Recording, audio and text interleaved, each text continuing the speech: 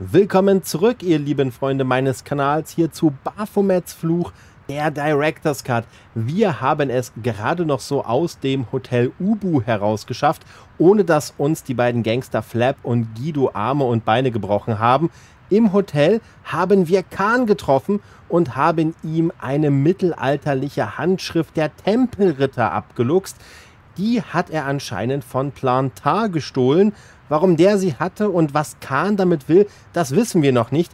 Aber Nico hat uns den Tipp gegeben, dass hier im Museum von Kroon Lobino studiert und der weiß wohl mehr über die Tempelritter.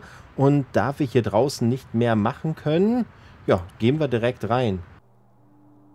Wow. Wunderschön, oder? Und so detailreich und was hier so alles rumsteht. Das hier ist ein Sarkophag, der stammt wohl oder übel aus Ägypten. Hier ein Totempfahl der indigenen Völker von Nordamerika. Das hier sieht irgendwie aus, als könnte es von den Kelten stammen oder so ähnlich. Ich habe keine Ahnung. Auf jeden Fall gibt es hier einiges. Allerdings sehe ich auf den ersten Blick keinen Lobino. Hier ist aber ein Wachmann und dreht seine Runden. Vielleicht weiß der ja mehr. Verzeihung. Oui, Monsieur. Sind Sie Lobineau? Oh nein, wie können Sie mich nur mit ihm verwechseln? Nein, ich bin der Hilfshausmeister. Aber Lobineau arbeitet doch hier. Arbeiten? Also so würde ich das nicht unbedingt ausdrücken. Er studiert hier zwar an den meisten Tagen, aber wie Sie selbst sehen können, heute nicht. Der Hilfshausmeister trägt aber die Uniform eines Wachmanns. Wissen Sie etwas über mittelalterliche Handschriften? Ich doch nicht, Monsieur. Ich bin kein Gelehrter, auch wenn mich die Leute dafür halten. Macht wahrscheinlich die Uniform. Sie sehen die Uniform, Sie sind beeindruckt. Und bitten Sie, Ihre Autos zu parken? Und bitten mich, Ihre Autos zu parken? Nein, nein, nein. Sie nehmen an, dass ich eine Autorität für die mir anvertrauten Ausstellungsgegenstände bin. Obwohl Sie fast nichts über Geschichte wissen. So ist das auch wieder nicht. Ich sage nur, dass ich kein Gelehrter bin. Nicht wie Monsieur Lobineau. Warum immer George so frech zu ihm ist? Naja, gut. Okay, wir können ihm noch eine Frage über die Tempelritter stellen und ihn natürlich, ja, so ein paar Gegenstände auswerten lassen. Wissen Sie etwas über die Tempelritter? Nein, Sir, nicht das geringste. Gut, das hat jetzt nichts gebracht, aber vielleicht hat er ja Kahn gesehen, denn Kahn hat ja immerhin die Mitschrift von Plantar gestohlen und muss ja irgendein Interesse daran haben. Kennen Sie den Mann auf diesem Foto? Nein, Monsieur. Sollte ich ihn kennen? Vermutlich nicht. Hm. Und Grüber Elektronik? Sagt Ihnen dieser Ausweis etwas? Nein. Auch Fehlanzeige und das äh, Streichholzpapierchen. Haben Sie jemals vom Club Alamut gehört? Oh nein, in solche Etablissements gehe ich nicht. Klingt fast so, als würde er dahinter ein Bordell vermuten. Hm. Gut, ich glaube, die rote Nase und das feuchte Taschentuch schenken wir uns. Gulli-Werkzeug, naja, dann hält er mich vielleicht für einen Einbrecher. Aber hey, vielleicht will er mir ja die Hand schütteln. Würden Sie mir die Hand geben? Nicht solange ich im Dienst bin, Monsieur. Ach, verdammt. Gut. Vielen Dank für Ihre Hilfe. Gut, aber das schlaue Auge hat es ja schon erkannt. Hier steht ein Dreibein, wie es auch auf der Schrift vermerkt ist. In der Vitrine steht ein mickriges Dreibein, vom Alter geschwärzt und vom Rost zerfressen. Es ist identisch mit dem in der Handschrift abgebildeten Dreibein. Ein Schild datiert es auf das 15. Jahrhundert, Ursprung Westirland. Man hat es in Loch Marn gefunden, auf dem Gelände eines Tempelritterklosters. Irland. Was ist? Dieses Dreibein wurde in Irland gefunden. Ich muss Sie bitten, nicht so laut zu sprechen. Tut mir leid, ich war so aufgeregt. Genau, wir könnten ja sonst noch die anderen Besucher hier stören. Aber schon ein Zufall, dass wir gleich an der ersten Adresse ein Dreibein finden, das dem in der Schrift ganz ähnlich ist und zumindest auch ein paar hundert Jahre alt zu sein scheint. Verzeihung. Oui, Monsieur. Gut, wir können den Wachmann jetzt zum Dreibein ausfragen. Können Sie mir weitere Informationen über das Dreibein geben? Sicherlich, Monsieur. Es ist berüchtigt, jawohl. Dieses Dreibein, das gehörte John Dee. John Dee. Was ist so aufregend an John Dees Dreibein? Dee war der berühmteste Kontortionist des 16. Jahrhunderts, der Houdini seiner Zeit. Meinen Sie nicht Alchemist? Kontortionisten benutzen Seile, Ketten und Handschellen, kein Dreibein. Egal, was immer er war, auf jeden Fall hat er das Dreibein bei seinen Experimenten benutzt. Was für Experimente hat dieser John Dee mit seinem Dreibein gemacht? Och, das Übliche. Haben Sie in der Schule denn keine Chemie gehabt? Schon, aber wir haben Taumatologie übersprungen. Kann ich mir das Dreibein mal etwas näher ansehen? Wie bitte? Aus der Vitrine herausnehmen? Ah, no. Dieses Dreibein wird von einem raffinierten Überwachungssystem gesichert. Wie raffiniert? Eine ohrenbetäubend laute Klingel. Okay, das ist ja wirklich Hightech. Wie wird die Alarmglocke ausgelöst? Durch den leichtesten Druck auf oder Bewegung von irgendeinem Teil der Vitrine, in der sich das Dreibein befindet. Ich finde, dass die Bezeichnung raffiniert für Ihre Alarmanlage doch etwas gewagt ist. Sie hat bisher noch nie versagt. Die Raffinesse liegt in ihrer Einfachheit. Oh, der arme Wachmann. George macht ihm ganz schön Feuer. Aber gut, viel mehr? Vielen Dank für Ihre Hilfe. Als ich meine Hand in die Nähe der Vitrine strecke, schrillt es auf einmal los. Ich erstarre. Dann versuche ich, mich zusammenzunehmen und nicht aufzufallen. No, Monsieur, no et no. Okay, okay. Die Vitrine enthält das Dreibein, das in der Schriftrolle beschrieben war. Hm. Okay, wir könnten uns jetzt hier noch mehr anschauen. Ich schau mal, was noch so geht. Also zumindest der Totempfahl ginge noch. Der Totempfahl sieht im Museum hier absolut fehl am Platz aus. Ist doch alles ein bisschen bunt gemischt hier. Ein alter ägyptischer Sarkophag, auf dessen Deckel ein wunderschön gemaltes Bild des Besitzers prangt. Mhm. So, genau. Hieran können wir drehen. Das brauchen wir aber erst später. Dann würde ich sagen, verschwenden wir keine Zeit. Lubino ist ja sowieso nicht hier. Und gehen zurück zu Nico.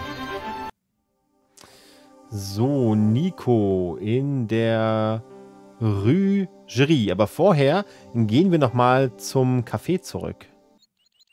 Okay, gut. Hier hat sich nichts getan. Dann gehen wir jetzt in die Rue Gerie. Wieder in Nikos Apartment. Hallo, ich war im Museum von Krun.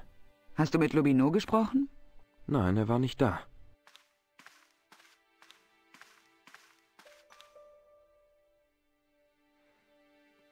Hast du noch etwas über die Morde herausgefunden? Nun, vielleicht ist das nicht wichtig, aber beide Opfer haben dieses Jahr Paris besucht. Wann? In der zweiten Juliwoche. Sie waren beide zur selben Zeit hier. Haben sie sich getroffen? Weiß ich nicht, aber ich kann mir nicht vorstellen, dass das Zufall ist. Hm, das ist wirklich kein Zufall. Ich habe das Dreibein gefunden. Wo? Im Museum. Es gehörte den Templern. Es wurde in Irland ausgegraben, in Loch Marne. Ich habe von Lochmarn gehört. Ich habe einen Artikel über das Schloss gelesen. Sie selbst. Ein populäres Klatschmagazin. Liest du so einen Schund? Nein, ich schreibe dafür. Professor Nigel Pegram gräbt das mittelalterliche Schloss in Loch Marne aus. Das ist merkwürdig. Was? Er trat von seinem Lehrstuhl in Durham zurück, um sich ganz der Ausgrabung zu widmen. Nicht nur das, er sagte die Dreharbeiten für den vierten Teil seiner populären Fernsehserie ab. Die Ausgrabungsstätte in Loch Marne muss für ihn unheimlich wichtig sein. Er ist ein Professor für Geschichte, die sind alle durchgedreht. Trotzdem, ich möchte mit diesem Professor Pegram reden. Was hältst du von einem Ausflug nach Irland? Könnte mir gefallen. Hä? Aber ich kann nicht. Ich möchte den Fall Bilotta weiterverfolgen. Wenn du wirklich glaubst, der Edelstein von Pegram sei wichtig, warum fährst du dann nicht nach Loch Marne? Alleine? Ich weiß nicht. Wo genau liegt Irland? Genau, wo genau liegt Irland? Schauen wir uns die Schriftrolle nochmal an. So, das Dreibein. Da ist ein Typ mit Schwert und einem Stier. Zwischen ihnen steht ein Edelstein auf einem Dreibein. Hm. Na gut. Da ist dazwischen... Hm, ich komme gerade nicht mehr zurück. Schau mal. Eine Frau sieht in dem... Aber das... Ein Ritter mit einer... Auf der Schriftrolle des... Durch meine Lehre... Okay, gut. Äh, Ich muss gehen. Okay, ich sehe dich später. dann. Nächster Stopp Irland. Zack, auf zum Airport. Und dann geht es nach Loch Marn. Ja, da wird der Urlaub für George plötzlich doch ein bisschen teurer. Einige Stunden später. Auf dem Weg nach Loch Marn komme ich an dem Schloss vorbei. Das Schloss, in dem Pigrams Ausgrabung stattfand.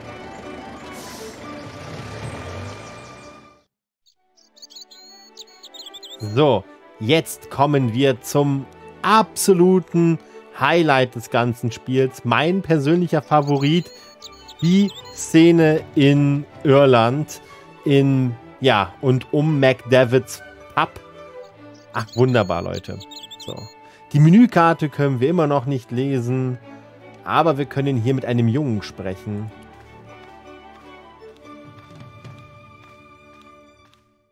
Hallo da drüben. Was? Wie heißt du, Kleiner? Wen nennen Sie hier Kleiner? Wer zum Teufel sind Sie? Rosso steht in diesem Pass. Mörder werden leichenblass. Sind Sie ein Polizist?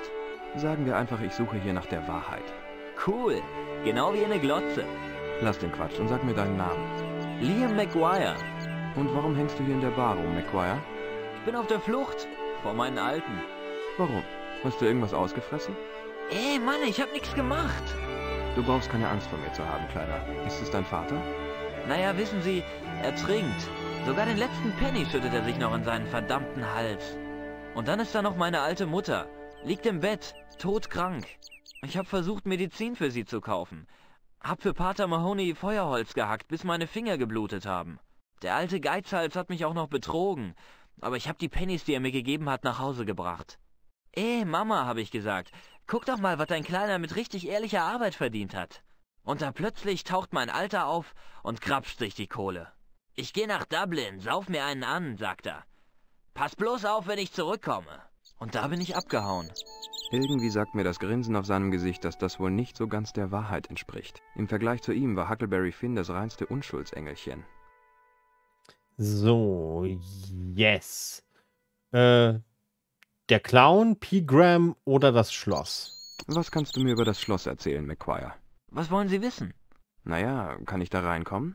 Nee, das Ding ist abgeschlossen. Wohnt da jemand? Nee. Nur, Was? ach nix. Du weißt doch was über das Schloss, was du mir nicht sagst, hä? Nö. Was ist da los? Gibt's da was, wovor du Angst hast? Ich habe ja überhaupt nix Angst. Ich gebe dir noch eine letzte Chance, mir was über das Schloss zu erzählen. Ach ja? Und wenn ich nix sage? Dann bringe ich dich in die Schule zurück. Oh, da gibt's ein Gespenst. Wir nennen es das Phantom von Loch Marn. Du willst mir doch nicht erzählen, dass du an Gespenster glaubst, hä? Mister, das habe ich mit meinen eigenen Augen gesehen. Dienstagnacht bin ich hingeschlichen. Wollte mir mal ansehen, was die ganze Graberei sollte. Gerade als ich oben an der Mauer bin, höre ich dieses abgefahren gruselige Geräusch. Was für ein Geräusch. So ein ekelhaftes Schnaufen und Schnüffeln. Wie das Schwein von O'Brien, nur schlimmer. Kam aus dem Schloss. Hast du herausgekriegt, wer dieses Geräusch im Schloss gemacht hat? Noch was? Ich war da auf der Mauer wie festgefroren. Es war so hell wie unter Rosie O'Hallahans Rock. Der Hof war voll mit Schatten, in denen sich alles Mögliche verstecken konnte. Ich wäre ja nach Hause gegangen, aber meine Beine wollten einfach nicht. Hast du das Gespenst gesehen? Na und ob, Mann, war das gruselig. Ich saß da also auf meinem Hintern rum und hab gewartet, bis der Mond unterging. Und da ist es dann aus dem Schatten rausgekommen.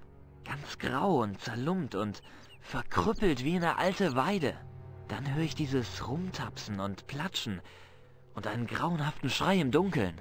Ich hab mich dermaßen erschreckt, bin doch glatt von der verdammten Mauer runtergedonnert.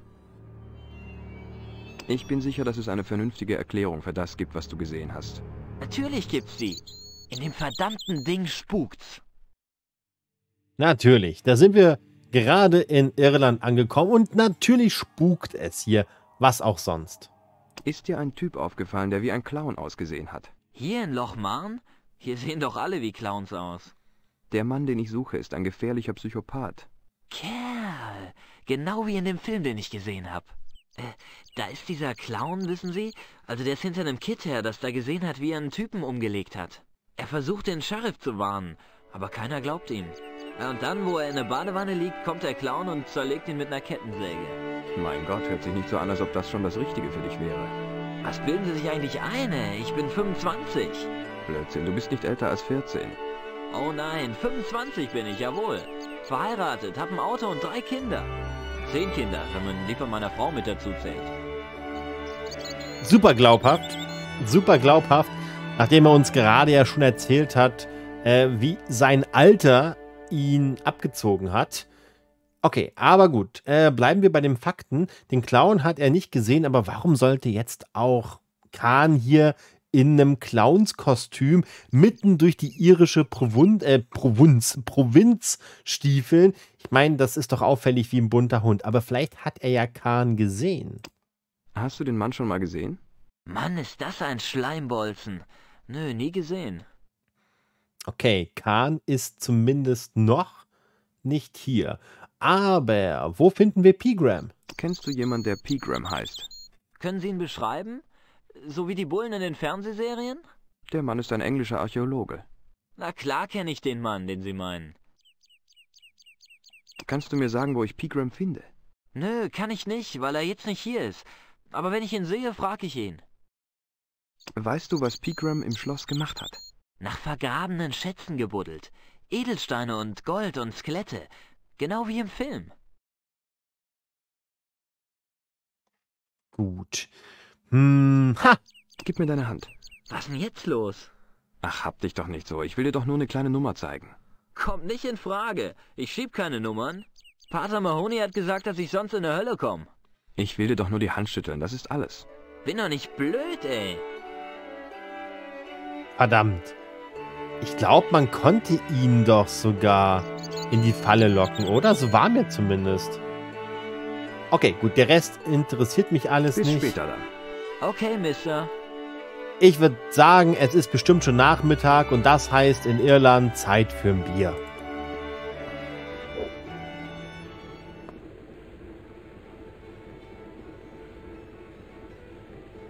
Ach, wunderbar. Ich habe das Spiel zuletzt auf der PlayStation gespielt und da haben sie doch tatsächlich den Viertelspieler rausgenommen. Der kommt hier einfach nicht vor. Und dabei ist das meine Lieblingsszene hier im Pub.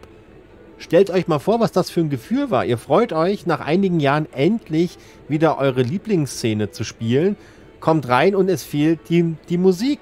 Das war richtig blöd. Okay, wir sind in McDavids Pub und haben hier schon einige Kapaiken rumsitzen. Ja, er sieht hier besonders fehl am Platz aus. Der Typ da hinten ist offensichtlich erkältet und niest in seinen Drink. Und hier ist ja der Inhaber und ich glaube, am besten fangen wir auch hier an. Einen wunderschönen guten Morgen. Verzeihung? So sagt man doch hier in Irland, oder nicht? Wollen Sie was haben oder nur Ihre Xenophobie streicheln? Ähm, ich wollte nur freundlich sein. Hm. Wollen Sie ein Zimmer? Och ja, eine Übernachtungsmöglichkeit wäre doch nicht schlecht. Keine schlechte Idee. Haben Sie was frei? Möglicherweise, wenn Sie warten wollen, bis der jetzige Gast auscheckt. Kein Problem. Was meinen Sie, wann das sein wird? Sobald ihn der Totengräber abholt. Na, das ist doch vielversprechend. Haben Sie vor kurzem irgendwelche mm, Clowns bedient? Nein, Sie sind heute der Erste. Kennen Sie einen Mann, der Pegram heißt? Und ob? Sind Sie zufälligerweise ein Freund von ihm? Oh nein, ich versuche nur, ihn zu finden. Ich auch. Der Mistkerl gehört hinter Gitter. Hat Pegram hier gewohnt? Ja, hat er. Sechs Übernachtungen plus Frühstück. Ich versuche mal ein Glas Bier, bitte. Ist das Ihr erstes Glas echtes Ale? Ich, ähm, würde ich mal sagen. Was ist das überhaupt, echtes Ale? Bier, das aus natürlichen Zutaten nach traditionellen Methoden gebraut wurde. Sollte nicht unter Druck oder kühl gelagert werden. Und außerdem sollte es einen guten Körper und einen unverwechselbaren Charakter haben. Mit anderen Worten, es ist abgestanden, warm, es schwimmt Zeugs drin herum und es haut einen um.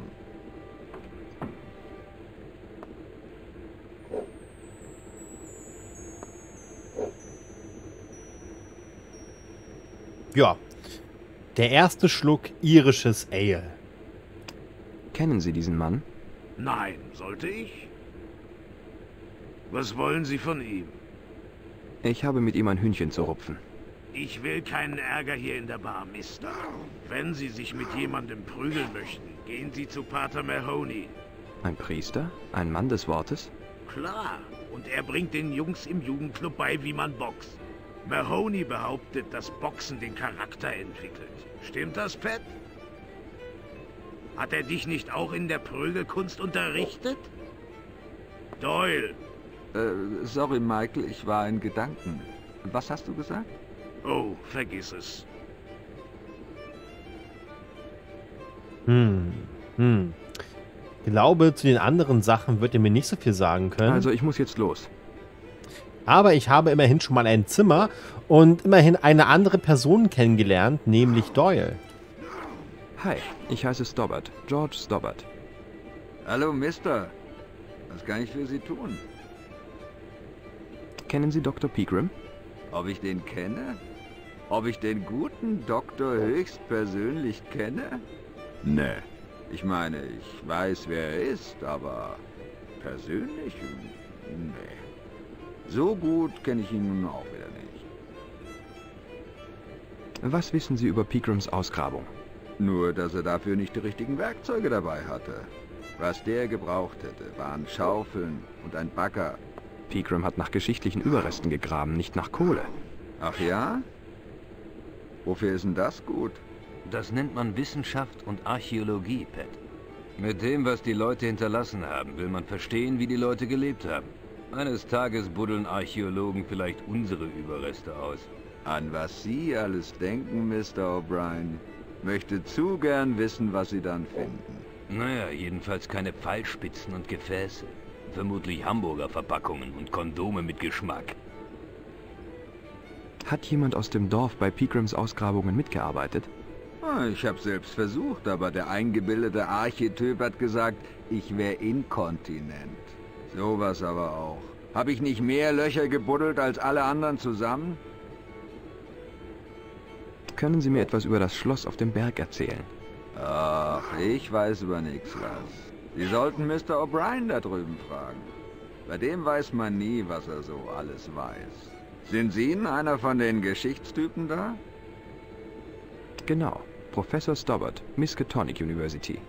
Sie sind Archäologe und fragen uns wegen dem Schloss? Entschuldigung, Mr. O'Brien, der Gentleman hat mit mir geredet. Wieso sind Sie nicht mit den anderen weggegangen? Ich wusste gar nicht, dass Sie weggegangen sind. Aber klar doch. Haben Schaufel und Spaten eingepackt und sind verschwunden. Ich habe anscheinend die ganze Action verpasst. Was für Action. Oh mein Gott, diesen Dialogstrang habe ich gerade zum ersten Mal gehört.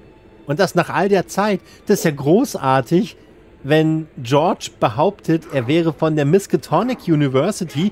Das ist ja die berühmte Universität aus Arkham, aus den Erzählungen von H.P. Lovecraft rund um die Geschichten mit Cthulhu und dem kosmischen Horror.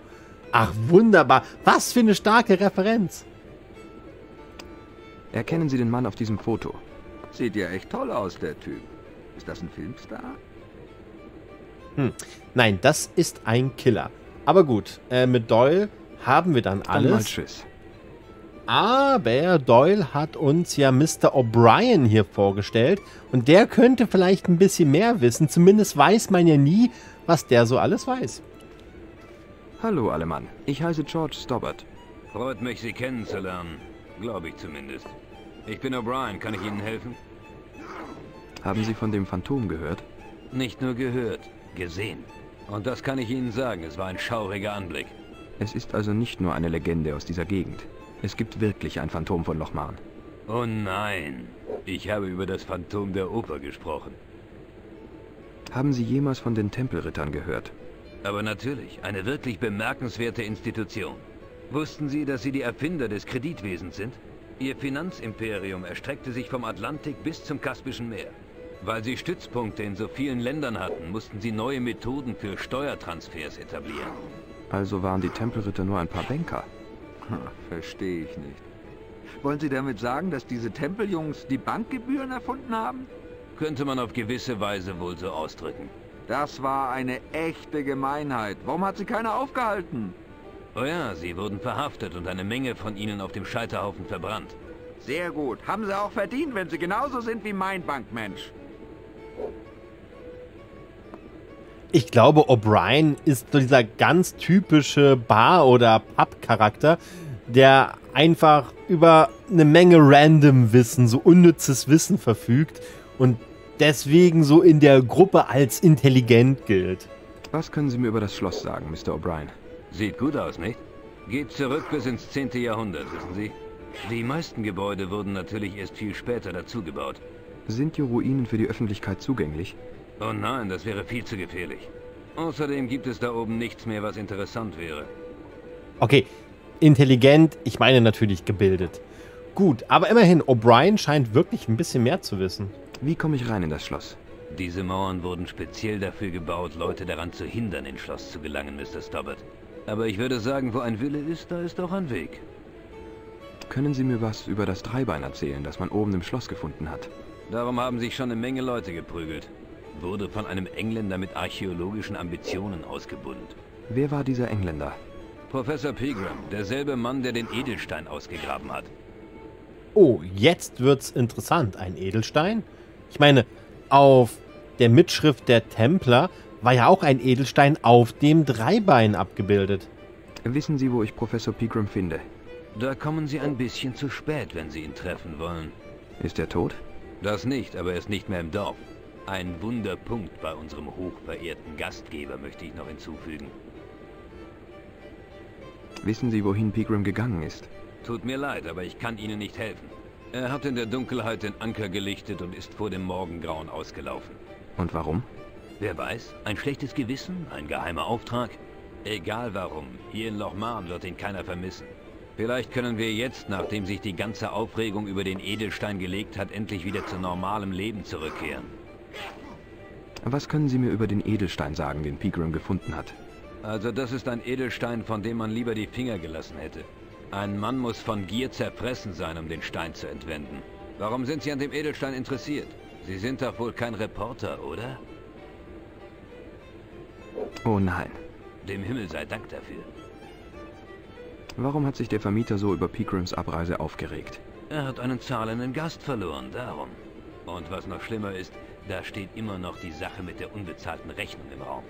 Michael sieht rot, wenn die Sprache darauf kommt, und ich kann es ihm noch nicht mal verübeln. Können Sie mir mehr über den Vermieter erzählen? McLeary. Er ist das, was man einen Mann von Welt nennt. Das Problem ist, dass seine Welt beim Toilettenpapier endet. Habe ich nie verstanden, warum er das macht. Ist doch viel zu dunkel da drin, um zu lesen. Das ist wahr. Hast du jemals mit der Hand die Innenseite von der Tür befühlt? Das Graffiti ist in Blindenschrift geschrieben. Hm, okay. Den Witz habe ich jetzt nicht ganz verstanden, ist aber auch egal. Erkennen Sie den Mann auf diesem Foto? Nein, den habe ich noch nie gesehen. Okay, Pegram scheint hier also Also dann bis später. ziemlich hastig aufgebrochen zu sein. Er hat nicht mal seine Rechnung bezahlt. Ich meine, für einen gestandenen englischen Archäologen sollte das doch wohl kein Hindernis sein. Er hat immerhin das beste Zimmer im ganzen Haus gehabt äh, und Frühstück. Und das Frühstück war hier bestimmt ganz, ganz lecker. Ähm, ja, mit dem Fiddler können wir auch nochmal sprechen. Er hört nicht zu. Ja, oder auch nicht. Oder wir sprechen noch, wir sprechen noch mal mit Mick Leary. Entschuldigung, Ja, Sir? kann ich bitte noch ein Bier haben? Natürlich, Sir. Dasselbe nochmal? Ja, bitte. Wie wird das Zeug gemacht? Das ist das Geheimnis der Braumeister, Sir. Jedes Fass wird voller Liebe in traditioneller Weise behandelt. Aufgehängt an sorgsam geknüpften Seilen aus feinstem Hanf, in den Keller hinabgelassen unter Mithilfe der Originalschwerkraft, wie Manna vom Himmel. Die Originalschwerkraft, Leute, ne? So, aber so richtig weiter komme ich jetzt hier auch nicht. Also ich muss jetzt los. Aber hier liegt noch ein, eine Art Handtuch, das stecke ich jetzt einfach mal ein. Ein mit Bier vollgesogenes Stück Handtuch.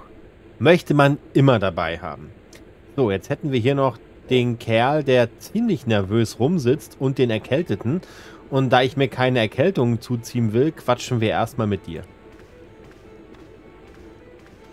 Ich heiße George. Nett, Sie kennenzulernen, Mister. Ich heiße Fitzgerald. Was können Sie mir über das Schloss erzählen? Da gibt's nicht viel zu sehen. Das ist bloß eine alte Ruine. Wie alt? Kann ich Ihnen echt nicht sagen. Haben Sie sich das Schloss schon mal genauer angesehen? Früher habe ich da ab und zu mal gespielt, als ich noch klein war. Dann ist mal eines der Kinder von der Mauer gefallen. Schädelbruch. Tot. Wir sind dann nicht mehr hingegangen. Sind Sie kürzlich mal da gewesen? Nein, Kennen Sie Dr. Pegram? das ist dieser Archäologe, oder? Richtig. Haben Sie bei Dr. Pegrams Ausgrabung mitgearbeitet? Haha, wie kommen Sie denn auf die Idee? Kann ich Ihnen noch ein Bier ausgeben? Oh nein, danke. Ich sollte eigentlich gar nichts trinken. Ich muss Tabletten nehmen für meine Nerven. Mehr als ein Glas und ich kippe um. Hm, verführerisch, ihm ein Bier zu geben. Erkennen Sie den Mann auf diesem Foto? Nein, den kenne ich ganz sicher nicht. Hm, okay, Bis später. gut. Dann ist der weiter nervös und schielt auf seine Uhr. Ach komm, gehen wir doch mal zu dem Erkälteten. Hallo, guter Mann. Was? Da haben Sie aber eine böse Erkältung. Sobald die Worte meine Lippen verlassen, tun sie mir schon tierisch leid. Gibt es eine Erkältung, die nicht böse ist? Die Frage habe ich schon Pater Mahoney gestellt. Vater, sage ich, warum wurden wir geboren, um unter Rotznasen zu leiden? Was hat er gesagt? Er sagt, das wäre meine Belohnung, weil ich mich die ganze Nacht wie ein Sünder draußen rumtreiben würde. Brüder Frömmler. Egal, das hier ist keine gewöhnliche Erkältung, das ist Heufieber. Polynosis? Danke. Sie sind nicht zufälligerweise von der Polizei, hä? Entschuldigung. Polizei? Nein, das wüsste ich. Warum hat hier eigentlich jeder Zweite Angst davor, dass ich wahlweise von der Polizei oder von der Presse bin? Was haben die zu verheimlichen? Darf ich Ihnen ein Bier ausgeben? Nett von Ihnen. Aber ich trinke das Zeug nicht, was Leary hier ausschenkt. Was ist los damit? Ich habe gesehen, was es anrichten kann. Mhm. Können Sie mir sagen, wie ich in das Schloss hineinkomme? Schlagen Sie sich das ganz schnell aus dem Kopf, Jungchen. Lochmann Castle ist verflucht. Das hat mir auch der Junge da draußen gesagt, aber ich glaube ihm nicht. Dann sind Sie ein Dummkopf. Geister stören mich nicht. Ich will das Schloss sehen. Können Sie aber nicht. Ist der Öffentlichkeit nicht zugänglich. Aber es gibt hier niemand, der mich davon abhalten könnte, oder? Richtig. Zumindest kein Mensch. Haben Sie den Geist mal gesehen? Ja doch, mit meinen eigenen Augen. Können Sie den Geist beschreiben? Es war furchtbar. Ein schrecklich verkrüppeltes Biest. Langer Schnabel, zerzaust, schlagende Flügel. Sind Sie sicher, dass das kein Tier war? Ein Kaninchen? Ein, ein Stinktier oder sowas? Stinktier? In Lochmann? Das möchte ich gerne mal erleben. Nein, das war einwandfrei ein Geist. Ich glaube, ich weiß, was Sie auf der Burgmauer gesehen haben. Ich weiß, was ich gesehen habe. Das glaube ich nicht. Es war der kleine McQuire. Was? Er saß am letzten Dienstag nachts auf der Mauer. Er dachte, Sie wären das Phantom von Lochmann. Oh, Oh mein Gott, die beiden haben sich einfach gegenseitig gesehen, sich gegenseitig erschreckt und sich dann gegenseitig für das Phantom von Lochmann gehalten. Kennen Sie Pegram, den Archäologen? das ist der mickrige Typ, der am Schloss rumschnüffelt, ja? Nein, den kenne ich nicht. Was machen Sie denn da? Das ist eine Halskette, Jungs. Oh, klar, aus Stahldraht. Richtig. Eine Halskette für meine Süße. Wenn mein kleiner Liebling fühlt, wie sich die Kette um den schlanken Hals legt, gehört sie mir. Mir ganz allein. okay, ich habe das Gefühl, wir sollten das verhindern. Erkennen Sie den Mann auf dem Foto? Ohne meine Brille kann ich eh nichts erkennen. Hm. Gut, das heißt, dann. er sieht schlecht. Sobald der alte Macker mal nicht hinsieht, klaue ich mir sein Drahtstück. So, diese Kette wird er niemanden um den Hals legen. So. Ja, jetzt haben wir uns einmal ein bisschen umgeguckt, wobei wir können ja noch ein paar Blicke hinter. Nee, können wir auch nicht. Die weißen Barthaare sehen im roten Gesicht des Barkeepers wie Girlanden an einem Weihnachtsbaum aus. Die Ähnlichkeit geht sogar noch weiter. Sein Kopf ist so rund und glatt, dass man ihn echt für eine Christbaumkugel halten könnte. Oh mein Gott. Sein Kuhgesicht zeigt den leeren Ausdruck, der deutlich besagt, keiner zu Hause. Oh, armer Pet. Der Typ sitzt in der Ecke, als sei er dort festgewachsen. Okay, das sagt er zu O'Brien. Was sagt er zum Fiddler? Nix. Und zu Fitzgerald? Den jungen Rotschopf macht irgendetwas offensichtlich ganz schön nervös. Der Typ sitzt in der Ecke, als sei er dort festgewachsen. Man hat mir beigebracht, dass man Leute nicht nach dem Aussehen oder nach ihren Kleidern oder der Länge ihrer Haare beurteilen darf. Aber keiner hat was von Triefnasen gesagt. Hm, na gut. So, Maguire, weißt du irgendwas Neues? Hey, Maguire. Was? Weißt du etwas über Pigrams Ausgrabung? Der wollte mich doch nicht mal in die Nähe lassen. Hab ihm angeboten zu helfen, aber er hat mich weggescheucht. Was soll's? Ich wollte sein stinkiges altes Loch sowieso nicht sehen. Arbeitet jemand aus dem Dorf an der Ausgrabung? Pigram hat ein paar Studenten und Penner mitgebracht. Dachte, es weiß keiner in Lochmarn, wonach er suchen sollte. Der einzige Typ von hier, der für ihn malocht hat, ist Sean Fitzgerald. Fitzgerald sagt, er sei nie auch nur in die Nähe der Ausgrabung gekommen. Der nimmt sie schwer auf den Arm, Mister. Okay. Bis später dann. Okay, Mister. Fitzgerald war also bei der Ausgrabung dabei. Aber er hat zu uns ja gesagt, nein, wie kommen Sie denn auf die Idee? Und das klingt doch schon ein wenig unehrlich. Mr. Fitzgerald? Was hast du zu verbergen? McQuire sagt, er hat Sie an der Ausgrabung gesehen. Und noch mehr, er hat gesehen, wie Sie mit Pegram geredet haben. Ich wusste, dass das passieren würde. Ich wusste, dass man mich erwischt. Ich muss mit Dr. Pegram reden, falls er noch am Leben ist. Meinen Sie damit? Ist er in Gefahr? Ja, yeah, und Sie auch, wenn ich recht habe. Sie sind nicht vom Sozialamt? Großer Gott, nein. Wie kommen Sie denn darauf? Naja, ich habe Arbeitslosengeld bezogen, als ich für Pegram unterwegs war. Darüber habe ich nicht zu urteilen. Das müssen Sie schon mit Ihrem Gewissen selbst ausmachen. Ich will lediglich mit Pegram über den Edelstein reden. Er ist aber nicht hier. Ich weiß, aber er hat Ihnen ein Päckchen dagelassen, stimmt's? Das liegt ja auch ganz offen auf dem Tisch herum. Also, wo ist Pegram hingegangen? Ich weiß es nicht, wirklich. Er ist zu mir gekommen, heute Morgen, ganz früh. Sagte, er würde weggehen. Er sagte, ich soll dieses Päckchen jemandem geben. Heißt Marquet oder so. Zeigen Sie mir, was in dem Päckchen ist. Das kann ich nicht. Warum nicht? Das habe ich dem Professor versprochen. Na und? Sie hatten ja auch keine Skrupel, als Sie sich Ihre Unterstützung erschwindelt haben. Also was kann es schaden, mal einen kleinen Blick in Pigrams Paket zu werfen? Sie kennen diese Leute nicht. Das kann ich nicht. Ich traue mich nicht. Das ist Ihre letzte Chance, mir das Päckchen zu zeigen, Fitzgerald. Bis jetzt hatte ich viel Geduld mit Ihnen. Aber jetzt ist es Zeit, dass wir mal Tacheles reden. Aber er wird mich umbringen. Wer? Der Mann aus Paris, Jacques Marquet. Pegram hat mir gesagt, wenn ich ihm das Paket geben würde, ungeöffnet, wäre alles in Butter. Wenn ich Marquet übers Ohr hauen wollte, wäre ich tot. Ich werde mich um diesen Jacques Marquet kümmern. Geben Sie mir das Paket. Nein, warum sollte ich Ihnen vertrauen? Ich weiß schon gar nicht mehr, wem ich trauen soll. Ich wünschte mir, ich hätte nie etwas von dem Lochmarn Edelstein gehört.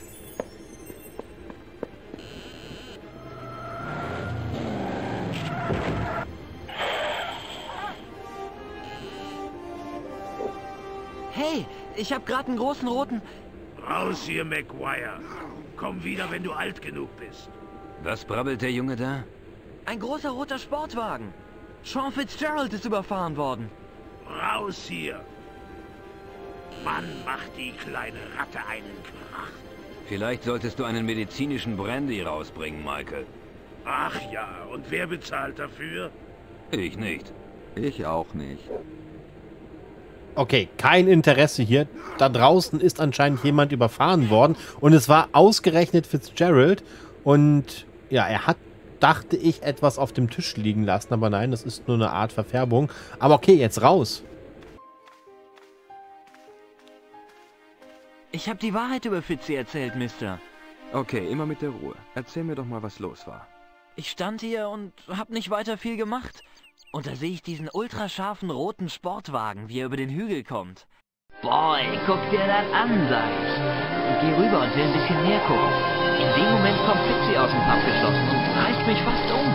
Egal, er rennt jedenfalls raus auf die Straße. Und das Auto kommt direkt auf ihn zu. Es war zu schnell für den armen alten und ist ihm tierisch reingedonnert.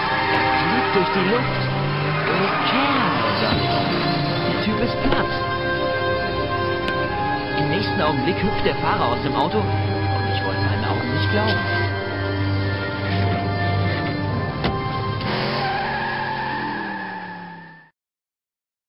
Er war wie ein verdammter Leprechaun-Kobold angezogen. Hm. Okay.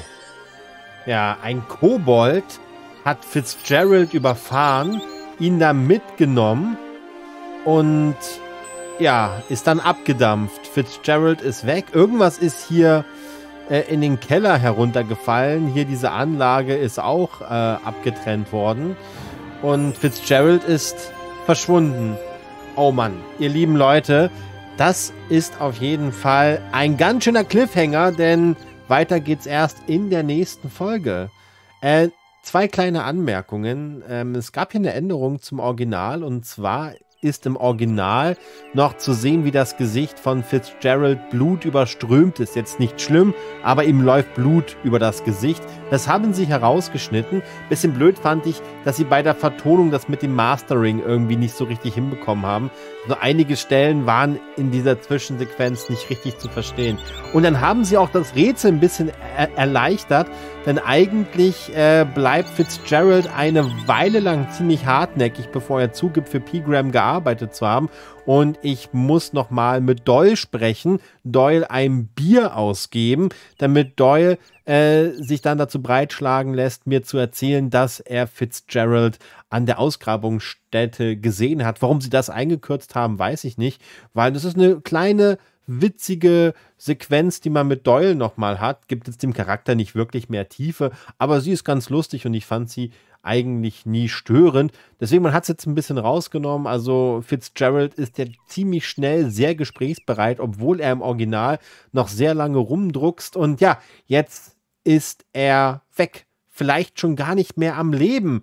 Und wie es weitergeht, ihr lieben Freunde meines Kanals, das erfahren wir in der nächsten Runde. Baphomets Fluch, der Director's Cut. Ich hoffe, ihr hattet Spaß. Vielen lieben Dank fürs Zuschauen. Ich freue mich natürlich wie immer auf eure Kommentare und euer Feedback. Dann sehen wir uns wieder. Haut rein, gehabt euch wohl. BB, euer Hyuga.